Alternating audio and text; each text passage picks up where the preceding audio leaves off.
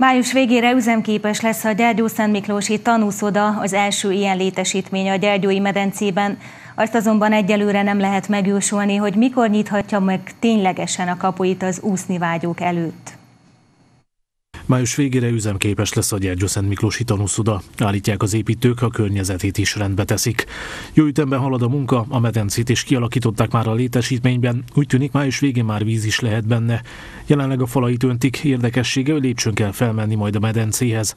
Alatta kapnak helyet az öltözők és a mosdók. Az úszómedencének az alja már be van öntve, most készülnek a falaknak, a, az úszómedencének a falainak a vasazása, zsaluzása, és arra készül a kivitelező, hogy május végében már a vízpróbát is meg kellene ejtsük, annak érdekében, hogy leteszteljük a, azt az úszómedencét, amit már nagyon régóta várunk. A tanúszodát kormányzati finanszírozással építik, a közművesítést azonban a városnak kell biztosítania.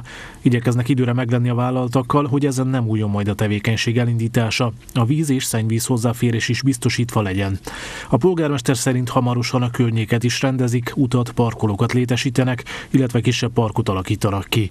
A létesítményben egy 25 méter hosszú, 12,5 méter széles úszómedence kap majd helyet, a víz mélysége pedig 120-180 cm között változik majd.